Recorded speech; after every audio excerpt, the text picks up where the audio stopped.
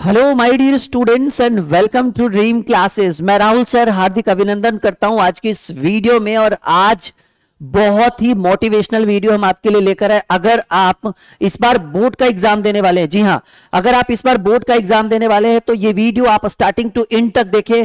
बहुत ही बेहतरीन वीडियो, क्योंकि आज के इस वीडियो में हम आपको बताने वाले हैं पाँच ऐसे प्रमुख लक्षण जो सिर्फ़ पाया जाता है टॉपर स्टूडेंट में। टॉपर स्टूडेंट यानी जो पढ़ने में बहुत तेज होते हैं। जैसे मान लीजिए कि आपने किताबें उठाई, ठीक है? आपने किताबें ली और पढ़ने, पढ़ना आपने स्टार्ट किया और आप आठ घंटा पढ़ रहे हो, दस घंटा पढ़ रहे हो, बारह घंटा पढ़ रहे हो, कोई बच्चा छह घंटा पढ़कर आपसे अच्छे मार्क्स ला रहा है। Point to be noted by dear student बहुत ही सिंपल सा टॉपिक बहुत ही सिंपल सा प्रोसेस हम यूज़ कर रहे हैं कि मान लीजिए कि आपने किताबें उठाई और आप ये किताबें आप पढ़ना शुरू कर रहे हो। सपोज़ दैट करो, ये किताबें आप पढ़ना शुरू कर रहे हो और किताबें पढ़ते पढ़ते मान लो, ठीक है, कि आपने आठ घंटे पढ़ाई की, दस घंटे पढ़ाई की, बारह घंटे पढ़ाई की, फिर भी आप टेस्ट में टॉप टेन में नाम नहीं आ रहा है टॉप फाइव में नहीं आ रहा है, क्यूज में आपका नाम नहीं आ रहा है लिस्ट में आपके मार्क्स अच्छे नहीं आ रहे तो ये पाँच ऐसे प्रमुख लक्षण क्या है जो सिर्फ़ टॉपर में पाया जाता है और आप कितना भी पढ़ते हो फिर भी आप टॉपर की लिस्ट में शामिल नहीं हो पाते हो। आज के इस वीडियो में हम आ, इसके ऊपर चर्चा करेंगे और बहुत ही मोटिवेशनल वीडियो है। वीडियो को लाइक शेयर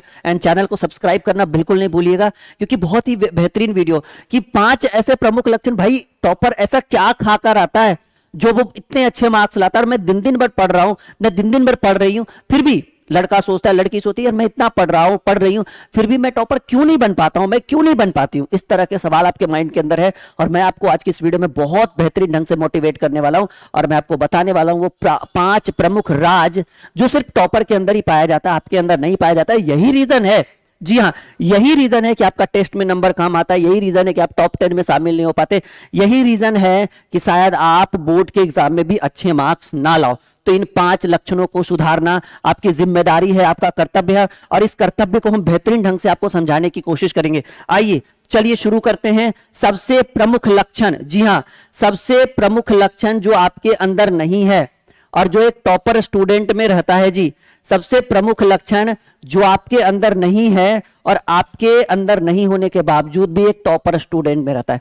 पहला लक्षण, जो आज से इस लक्षण को सुधारना है और इस काम को करना है और इसके वीडियो के नीचे कमेंट बॉक्स में कमेंट करके बताइएगा कि आपने पाँच लक्षणों में से वैसे कितने लक्षण को सुधारा। है पहला लक्षण, जी हाँ, सवेरे लेट से उठना, लेट से उठना और रात्रि में रात्रि में लेट से सोना। देखिए, ये सबसे बहुत ही खराब लक्षण है। एक बेहतरीन स्टूडेंट में जिस जो बहुत बेहतरीन ढंग से पढ़ रहा है ठीक है जिसकी पढ़ाई बहुत अच्छी है वो बच्चा कभी इस तरह का काम नहीं करेगा। वो सुबह चार बजे साढ़े चार बजे पौने पाँच बजे ही उठ जाता है। वैसे तो मैं चार बजे आपको एडवाइस करूँगा लेकिन जो कमज़ोर स्टूडेंट है जिनकी पढ़ाई अच्छी नहीं है ज, लगता है कि वो टॉपर नहीं बन सकते या जो जिन्होंने पहले ही हार मान ली है वैसे स्टूडेंट क्या करते हैं? लेट से सोते हैं। ग्यारह बजे तक मोबाइल चला रहे हैं, बारह बजे तक मोबाइल चला रहे हैं, थोड़ा सा इधर पढ़ रहे उधर पढ़ रहे ये कर रहे वो कर रहे तो इन सब चीज़ों के कारण अगर आप लेट से उठते हैं और लेट से सोते हैं तो सबसे खराब लक्षण यही है जो कभी भी एक होनहार छात्र में कभी नहीं पाया जाएगा। होनहार छात्र कभी लेट से नहीं सोएँगे। दस, साढ़े दस मैक्सिमम हो जाए तो ग्यारह बजे तक सोना। वैसे तो मैं एडवाइस दूँगा कि दस बजे आप सोइए। लेकिन, और उठने की बात करें तो मैं चार बजे से बोलता हूँ कि चार बजे उठा करो, दस से चार, छह घंटे आप सुतो, लेकिन कोई बच्चा चलो साढ़े चार, पौने पाँच बजे। और जो जो इस वीडियो को देख रहे हैं, अगर उस कैटेगरी में है कि भाई हम नहीं उठ पाते, वो बच्चा छह बजे, सात बजे, आठ बजे, वो सुबह का ट्यूशन भी नहीं धरेगा। कह रहे तो आराम से दस बजे बैच में जाएँगे। क्यों? क्योंकि उसको नौ बजे तक सोना है, आठ बजे तक सोना है। सबसे गंदी लक्षण यही है, सबसे खराब लक्षण यही है, इसके लिए आपको क्या करना होगा कि सवेरे आप सोए। सवेरे कब सोए? मैं रात में आपको एडवाइस करूँगा कि दस तीस तक आप सो जाइए।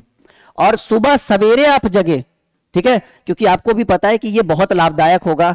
मैं आपको चार से साढ़े चार बजे तक का जगने का एडवाइस दे रहा हूँ, क्योंकि पाँच बजे तो सुबह हो जाएगी तो कौन सा तीर मार लोगे? फिर जग के आप, ठीक है? तो ये वीडियो बहुत ही इंपॉर्टेंट है, आपके लिए बहुत ही मज़ेदार होने वाला है।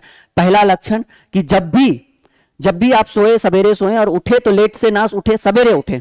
सबसे प्रमुख, ये फ़र्स्ट ये first important advice for you ये आपके लिए सबसे पहला एडवाइस है और बहुत ही ज़्यादा इंपॉर्टेंट है, आपको बहुत काम आने वाला है। चलिए, दूसरा हो गया सॉरी पहला हो गया। दूसरे की बात करें, बहुत ही इंपॉर्टेंट बात, ठीक है?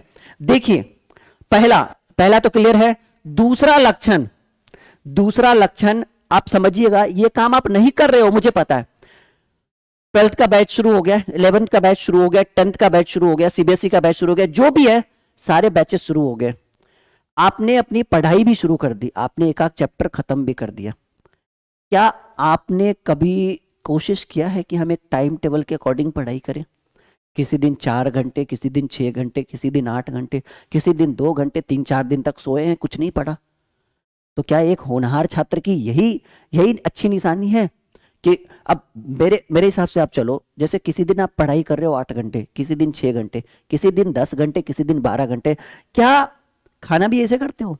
किसी दिन दस रोटियाँ, किसी दिन बारह रोटियाँ, किसी दिन चार रोटियाँ, किसी दिन दो रोटियाँ, किसी चार पाँच दिन तक खाना नहीं खाते हो? कहिएगा, सर, ये कैसे पॉसिबल है?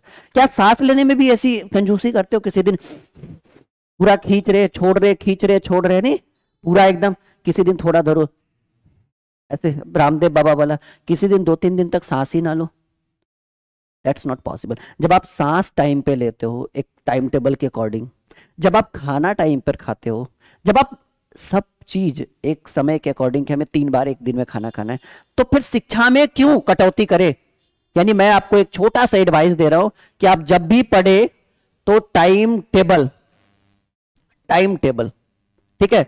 जब भी पढ़े, एक टाइम टेबल बनाकर पढ़े, और अगर आप एक वीक स्टूडेंट है तो मैं आपको मिनिमम एडवाइस दूँगा कि कम से कम छह घंटा पढ़ो जी। अगर आप पढ़ने में तेज हैं सॉरी बी का स्टूडेंट है तो आठ घंटा। अगर आप पढ़ने में बहुत तेज है तो आप छह घंटे पढ़ाई करो। ठीक है? ये मिनिमम है। और सुबह चार बजे उठिए और रात में दस बजे सो जाइए, कोई दिक्कत नहीं। साढ़े दस भी बज जाए तो चलेगा। तो ये दूसरा है कि पढ़ाई तो हर कोई करता है। ठीक है?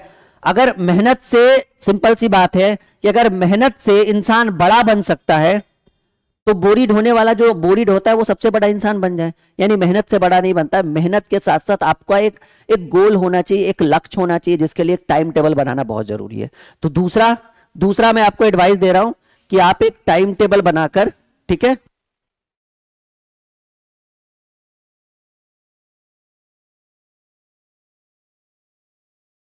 दूसरा जो है, एक टाइम टेबल बनाकर कि कम से कम आठ घंटे, नहीं तो छह घंटे पढ़ाई करें। दो चीज़ें क्लियर है? कॉन्सेप्ट समझ में आ रहा है? ये दो लक्षण हमेशा एक टॉपर स्टूडेंट पढ़ने वाले छात्र बिल्कुल करते हैं और जो कमज़ोर छात्र है, उसको क्या मतलब है?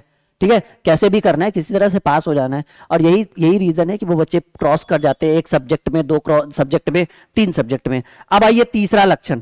तीसरा जो सबसे प्रमुख लक्षण है, जो शायद आपको बहुत काम दिलाएगा, ये तीसरा लक्षण। तीसरे लक्षण की बात करें, जो शायद साधारणतः बहुत सारे बच्चे करते हैं। तीसरा जो है वो है रेगुलरिटी ठीक है? रेगुलरिटी रेगुलरिटी मतलब एक चीज़ याद रखिए कि आपको चीज़ें समझ में आए या ना आए, आप हर चीज़ में रेगुलरिटी रखो। यानी पढ़ाई जो है, वो हर दिन किया करो। जैसे देखिए, इसमें मैं आपको एडवाइस दूँगा, जैसे कोई बच्चा पढ़ रहा है रोज दस घंटे, ठीक है? रेगुलरिटी और प्लस कम टाइम भी दीजिएगा तो चलेगा। देखिए, इसमें हम समझाएँगे आपको पूरा टिप्स के साथ। कोई घंटा, कोई बच्चा पढ़ रहा है दस घंटा और कोई बच्चा पढ़ रहा है छह घंटा। ठीक है? तो आपको तो लग रहा होगा कि ये दस घंटा वाला बहुत मेहनत तो कर रहा है, छह घंटा वाला कम मेहनत कर रहा है। लेकिन एक बात और याद रखिए रेगुलरिटी के साथ साथ हम यहाँ पर एक ऑप्शन दे देते हैं, शांत वातावरण। रेगुलरिटी तो रहेगा ही रहेगा, शांत वातावरण। जैसे मान लीजिए कि आप जो पढ़ रहे हैं रेगुलरिटी तो करना ही करना है। शांत वातावरण का मतलब क्या हो गया कि मतलब जहाँ पे आप पढ़ने गए, वहाँ का आसपास का माहौल हल्ला हल्ला गुल्ला वाला नहीं होना चाहिए। अब मान लीजिए कि टीवी चल रहा है, अब वहाँ पे आप अपना किताब लेकर वैसे वैसे माँ बाप को दिखा रहे हैं कि देखो मम्मी पढ़ने में हम कितना तेज है, कितना मेहनत कर रहे हैं। आप बताइए, कोई फ़ायदा होने वाला है? कुछ नहीं माइंड में जाएगा। यानी हमारा कहना है कि इसमें एक टिप्स देंगे हम आपको, कम पढ़े कम पढ़े, परंतु परंतु सौ प्रतिशत ध्यान देकर पढ़े। जी, ध्यान से पढ़े, ठीक है? कम पढ़े, लेकिन सौ प्रतिशत ध्यान से पढ़े। यानी आप अपनी पढ़ाई रेगुलरिटी रेगुलर तो रखना ही रखना है। हमने बोला, कम टाइम दीजिए पढ़ने पर। कोई दिक्कत नहीं, कोई प्रॉब्लम की बात नहीं है, लेकिन शांत वातावरण होना चाहिए, और शांत वातावरण होगा तो कम पढ़िएगा, तब भी चलेगा, लेकिन आपका ध्यान कहाँ होना चाहिए? हंड्रेड परसेंट किताबों पर। मतलब सिंपल सा प्रोसेस है मतलब ये तीसरा टॉपिक जो हमें बताना है ठीक है? वो हमारा कहने का मतलब है कि आप कम पढ़िए, लेकिन पूरा, जब आप पढ़ने बैठते हैं तो सिर्फ़ पढ़ाई करिए। जी हाँ सिर्फ़ पढ़ाई करिए, इसके अलावा किसी और चीज़ पर ध्यान देना नहीं है आपको। ऐसा नहीं कि अगर आप फ़ोन से ऑनलाइन पढ़ रहे हैं तो तुरंत को व्हाट्सएप में मैसेज आया तो टुन्न सबर वहाँ क्लिक कर दिए कि देखे जरा किसका मैसेज आ रहा है। फिर फेसबुक खोल दिए, फिर इंस्टाग्राम खोल दिए। मैं ये नहीं कह रहा हूँ कि इंस्टाग्राम खराब है फेसबुक खराब है व्हाट्सएप खराब है, ये ऐसा कुछ नहीं मैं कह रहा हूँ। लेकिन कम पढ़े, लेकिन फोकस हंड्रेड किताबों पर होने चाहिए हंड्रेड टॉपिक पे होना चाहिए। जब आप पढ़ ले, फिर मनोरंजन के साथ पूरा मनोरंजन करिए, कोई दिक्कत नहीं है। ठीक है? सिंपल है। तो देखिए कुछ कुछ चीज़ें मैंने आपको क्या बताया। पहला पहला आपको मैंने बताया कि भाई रो, रोज सवेरे उठना है और लेट से भी नहीं सोना है सवेरे सोना है। दूसरा टाइम टेबल बनाकर सोना है। तीसरा मैंने बोला रेगुलरिटी प्लस साथ ही साथ शांत वातावरण आसपास हल्ला ना हो वहाँ पे पढ़े जहाँ पे लोग कम हो भीड़ भाड़ ना हो हल्ला गुल्ला ना हो टीवी नहीं चल रहा हो मोबाइल ना यूज़ करे। अगर सिर्फ़ मोबाइल से पढ़ रहे तो सिर्फ़ मोबाइल के टॉपिक पर ही ध्यान देना चाहिए। इधर उधर पर ध्यान मत दिया करिए। ये सारी चीज़ें आपके लिए बहुत लाभदायक होगा ठीक है? और बहुत बेहतरीन होगा। पांचवा, चौथा टॉपिक चौथा जो सबसे इंपॉर्टेंट टॉपिक मैं आपको बताने वाला हूँ, ये देखिए, आप बहुत सारे बच्चे जब पढ़ना शुरू करते हैं ना तो उनको, उनका सिलेबस तक नहीं पता होता है। ठीक है? सिलेबस के आधार पर आधार पर पढ़ाई करें। सिलेबस के आधार पर पढ़ाई करें और साथ ही साथ देखिए, मैंने क्या बोला कि सिलेबस के आधार पर पढ़ाई करें और साथ ही साथ मैं आपको इसमें एक और एडवाइस दूँगा कि उस टॉपिक पर ज़्यादा ध्यान दे, उस टॉपिक पर ज़्यादा ध्यान दे, ज़्यादा सॉरी उस टॉपिक पर ज़्यादा ध्यान दे, जहाँ से सबसे ज़्यादा प्रश्न पूछे जाते हैं, सबसे ज़्यादा प्रश्न पूछे जाते हैं। बहुत इंपॉर्टेंट टॉपिक मैं आपके स्क्रीन पर मैंने रखा है। ठीक है? कि भाई, उस टॉपिक पर, पहले तो मैंने बोला सिलेबस के आधार पर पढ़ाई करिए। कोशिश करिए कि जो आपके सिलेबस में है, पहले उस टॉपिक को आप क्लियर करिए। हर तरीके से उस टॉपिक को क्लियर करिए, एक भी टॉपिक छूटना नहीं चाहिए। मतलब सिलेबस के आधार पर अपनी पढ़ाई करें, ऐसा नहीं कि पढ़ रहे तो पढ़ रहे हमें पता ही नहीं कि हमारा सिलेबस क्या है। पहले सिलेबस तो देखिए, पहले किताबें उलटिए हमें पढ़ना क्या है? जैसे फिजिक्स में आ गए केमिस्ट्री में आ गए तो हाँ भाई सॉलिड स्टेट पढ़ना है। सॉलिड स्टेट में कितने क्वेश्चन पूछे जाते हैं, कितने मार्क्स के सॉलिड स्टेट में पूछे जाते हैं, ठीक है? इलेक्ट्रोस्टेटिक्स में आ गए ऑर्गेनिक केमिस्ट्री आ गए इनऑर्गेनिक केमिस्ट्री आ गए फ़िज़िकल में आ गए कुछ भी आ गए। तो पहले सिलेबस तो देखिए पूछेगा कितना नंबर उसी के अकॉर्डिंग अपनी पढ़ाई करिए। ऐसा नहीं कि पढ़ रहे तो पढ़ रहे भाई सब सब जिधर चल रहा है हम भी उधर चलेंगे तो फिर विकास नहीं होगा। फिर आप अच्छे मार्क्स नहीं लाओगे फिर वहीं पे अटक जाओगे ठीक है? तो फिर समझ रहे हो कि आप, आपका भविष्य क्या होगा। तो फ़र्स्ट ऑफ़ ऑल चौथा मैं आपको जो बात बताने वाला हूँ कि जब भी पढ़े अपने सिलेबस के आधार पर पढ़ाई करें ठीक है? अपने सिलेबस के आधार पर पढ़ाई करें। साथ ही साथ उस टॉपिक पर ज़्यादा ध्यान दे, जहाँ से सबसे ज़्यादा प्रश्न पूछे जाते हैं और ये टॉपर की सबसे बड़ी निशानी है। ऐसा काम टॉपर ही कर सकते हैं। वीक स्टूडेंट एक कमज़ोर छात्र, जिसको खुद का कोई चिंता नहीं है, खुद का कोई भविष्य नहीं, जिसका खुद का कोई गोल नहीं है, वो इंसान ऐसा काम कभी कर नहीं सकता, क्योंकि उसको पता है कि वो उस लायक नहीं है। चलिए, पांचवा और जो सबसे important topic that's like very important topic और ये पांचवा टॉपिक मैं आपको बोलूँगा कि सबसे ज़्यादा इंपॉर्टेंट ये है कि आप प्रीवियस ईयर्स जी हाँ प्रीवियस ईयर्स क्वेश्चन का सॉल्यूशन करें। यही काम तो भाई एक वीक स्टूडेंट नहीं करता है। वो भी कितने साल का? पिछले दस साल का। और हाँ अगर आपको लगता है कि ये एग्ज़ाम के टाइम करना सही रहेगा, बहुत गंदी आदत है। एग्ज़ाम के टाइम बहुत सारी चीज़ें करनी होती है। जैसे जैसे समय नज़दीक आएगा ना, दिल की धड़कन वैसे वैसे तेज हो जाएगी। टक टक टक टक टक टक टक टक वो करेगा। तो वैसे में ना तो घर का रहिएगा, ना तो घाट का रहिए। ठीक है? वैसे कंडीशन में मैं आपको बोलता हूँ कि प्रीवियस ईयर्स का जो सॉल्यूशन है, उसको एग्ज़ाम के ऊपर मत टालिए कि जब एग्ज़ाम नज़दीक आएगा तब करेंगे। आप एक एक साल का वन वन ईयर का, ठीक है? एक एक साल का सॉल्यूशन हर सप्ताह करिए। अरे दस सप्ताह में खत्म हो जाएगा आपका प्रीवियस ईयर सॉल्यूशन और जब एग्ज़ाम आएगा, फिर उसका रिवीजन कर लीजिएगा। और ये सबसे बहुत इंपॉर्टेंट लक्षण है, और ये काम टॉपर ही कर सकते हैं। आप नहीं कर पाओगे। अगर आप टॉपर हो तो करो। और साथ ही साथ आप हमारा एप्लीकेशन भी इंस्टॉल करिए। अभी एक बात और मैं बताने वाला हूँ, बहुत इंपॉर्टेंट है।